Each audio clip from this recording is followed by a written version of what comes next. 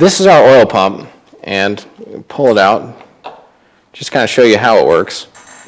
You can see it goes up into the case. It's hooked up by this spigot along with this O-ring that's already damaged for some reason. And it works by gerotors is what they're called. It's like gears. And the first one is your feed gear. It's the smallest one. And it works by this spinning and generating pressure, which moves the oil through the motor. And you want to make sure these go in the same way. So I'm going to put this one face down. Then we have a spacer that goes behind that. You've got a spring washer.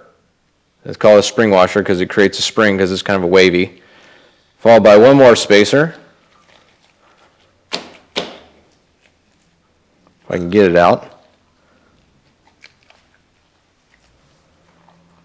There we go.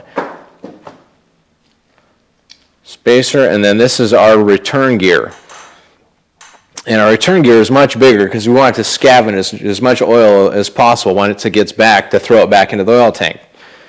And once you have this apart, it's not a bad idea to take a look, make sure no metal fragments have gone through the, uh, the oil pump, make sure there's no gouges in the pump body, make sure there's nothing damaged in the, the gerotor gears. These ones all look okay, look like we're in good shape.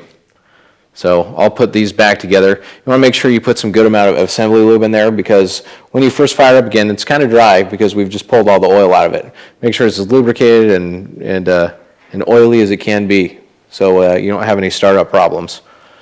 So after I put that back together, uh, I'll put that back in, and then uh, we're going to remove the cam bearings there in the back of the case.